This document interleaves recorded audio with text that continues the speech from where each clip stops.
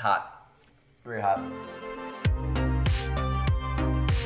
Hey everyone, my name is Max, and happy Thanksgiving to any of you who are watching this from the States. Happy whatever your next holiday is if you're not from the States watching this. I'm home for the week from senior year um, for Thanksgiving break. So I'm set up here in my dad's garage, his man cave. So you can see his motorcycles back there. It's a little bit of a different backdrop than my previous videos. But about two months ago, month ago now, I created this music visualizer inspired by glass animals. And I had a lot of fun making it. I think it turned out really cool.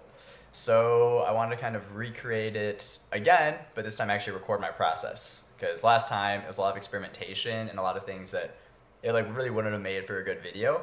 And also I was quarantined in my room. So I wasn't really looking too great or wanting to record.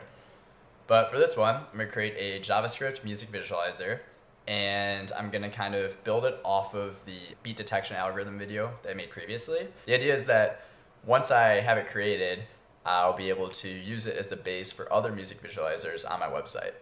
So because I only have a few days to work on it, I wanted to lay out a few requirements to actually build out an MVP or minimum viable product. Even though it's not a product, I still think it helps to kind of make a concise list of the requirements that you want so that at the end of it, you can be like, all right, I'm done, I'm gonna stop working on it, move on to something else. So let's get started. For this project's MVP, I'll have three main requirements. The first is there needs to be a cool visualization. It's kind of the entire point of the project, and my only thing for this is it can't be generic or boring. It's gotta be something interesting that I come up with on my own. Second, I need audio integration. I already know from my last project that I can't access system audio from the browser, for example from Spotify or other desktop apps, so maybe I can embed a YouTube player and play songs that way, or just host the music myself. Third, I need to make it live. Question is, where do I host it? I think I'll use my personal website. So I need to refactor my existing CodeArt page to accommodate this project, and I want to set it up so that in the future, I can have all my CodeArt projects there. The first requirement is the visualization, so let's sketch out some ideas and figure out what I want it to look like.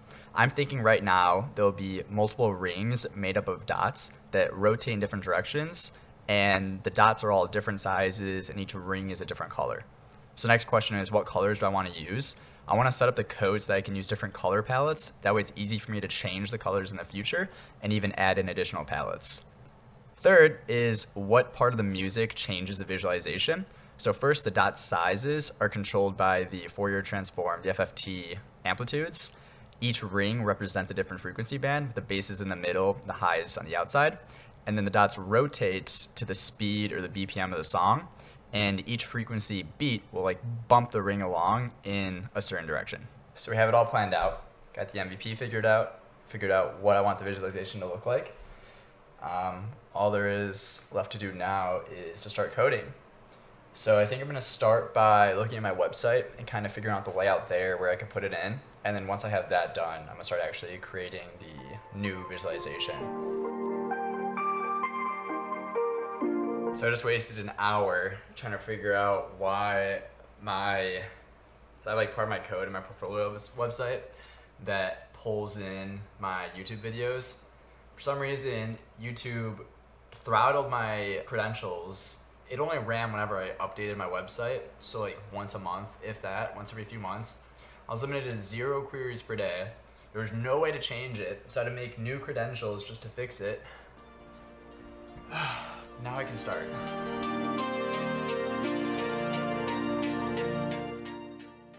So it's now Monday night, 8.33, and I'm about to call it for the night, but pretty much I was able to completely rearrange my CodeArt page.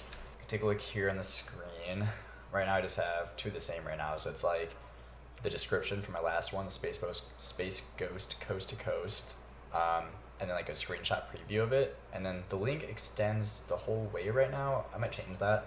If you click on it, then it brings it to the actual visualizer, which still looks pretty cool. Now I have to implement the Thanksgiving one. But yeah, I'm happy. And now I can easily, you know, take a screenshot of it and add it and kind of extend them all the way down. So yeah, solid work for the first day. I will see you guys tomorrow.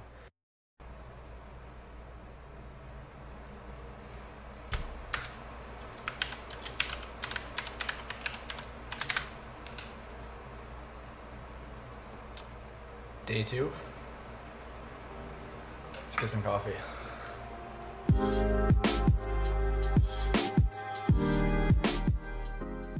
Bit of a breakthrough. Kind of wrote some like random notes here. Nothing important, but I was having some issues kind of figuring out how I was going to actually make the rings. I was gonna actually like make the dots and have it different for each band, but like still the information I needed it. Because I was looking at like particle systems on p5.js, like just Googling, trying to get some ideas. And I was like, this is kind of overkill. But I had, I think, a, I feel like it's a pretty good implementation. So pretty much what I do is I keep track of the number of dots I'm gonna have, in this case 210, the number of bands, in this case six, and then the band growth rate. And by that I mean like the first inner band will have 10, the next one has 20, 30, 40, 50, 60. So that's like the six bands. And then all this is just like the stuff I had for my other ones, like getting the amplitude, doing like the algorithm stuff. But the actual drawing of the visualization is down here. So first I translate it so it's zero centered because usually zero zero is like up here. But since we're using um, polar coordinates, I want the zero to be in the middle. And pretty much I just go through each band and I use that band growth rate. So it controls this like 2 pi over band length. So if you think about a circle, it's 2 pi radians, it's a full circle. So my band length in this case, like in the inner circle, that would be 1 times 10. So 10. I'm taking 2 pi, dividing it by 10, and that's the angle I'm using for each position the, of the dots. And then I plot a dot like that many times. Kind of a convoluted explanation. And then I use the size, the FFT, that array, to control the size. So whatever, that's the code. This is how it looks. And yeah, so this is what it looks like already. Uh, next up, I want to add rotation for the dots. I might have them like some rotating in, other ones rotating the opposite way, I'm not sure yet. And then I need to add colors and have to do something with the beats. But I think this is a good start. Another quick update.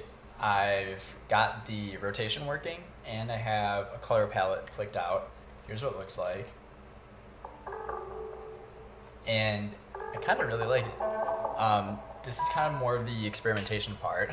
I'll switch over to here. Yeah, that's sort of what it looks like. Yeah, kind of happy. Gonna keep playing around with it, finalize the description, all that. Um, I'm pretty close to being done.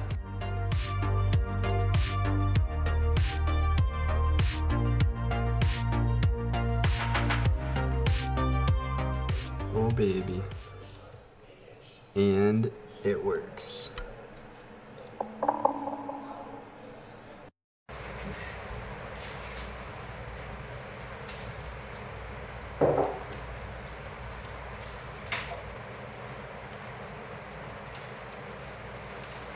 Okay, I'm done. Surprisingly, the project actually went according to plan. Faster, I honestly thought it would take me like the whole week. But um, yeah, it's done. So it's live on my website already. So maxmitchell.com. Head over. I completely changed the code art page. So this is what it looks like on full screen. Um, I think it looks pretty like good. Um, you know, kind of like goes with this whole like style for the rest of my website, but I think it looks good. And then when you're on mobile, it just gets rid of the text and just like the screenshots of it. So I think it's pretty cool. And if you actually click on it, you know, it loads have a little bit more information. tells you can click on it to start. You can cycle the colors with spacebar. Show that now. Um, but the colors also cycle throughout it. And if I start playing, I'm very happy with how it came out.